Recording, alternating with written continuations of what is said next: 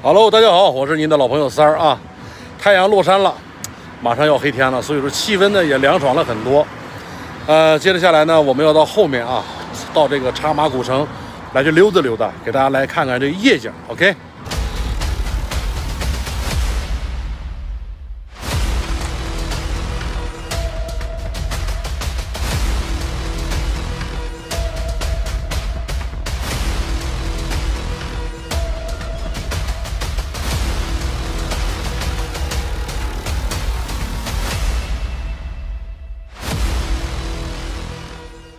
要找个药店，帮我看着点啊。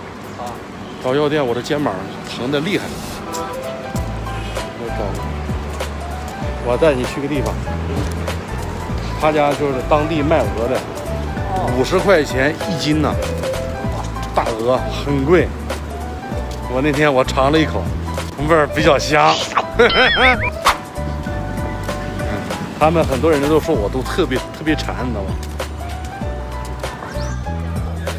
我说的就是他们家的大鹅。哦，大嗯，哎，这里有吃烧烤的地方。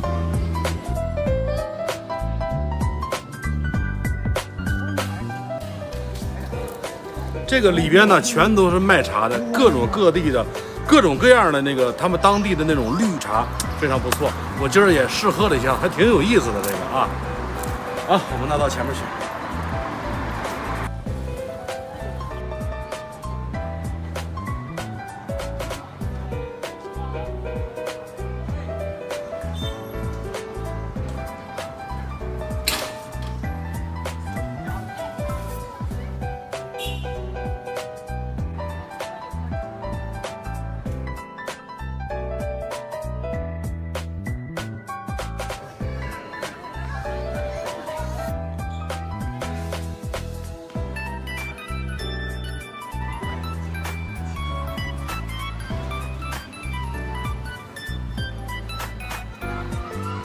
看到这些我就有点饿呢，这个。是。啊，好多这个美食呀，啊，那那还有生蚝那个，哦，好多东西。哎呀，这个看到这个路就走不动了，这样，真的香。现在温度还不够，等温度再降一降，能再凉快凉快点就好了。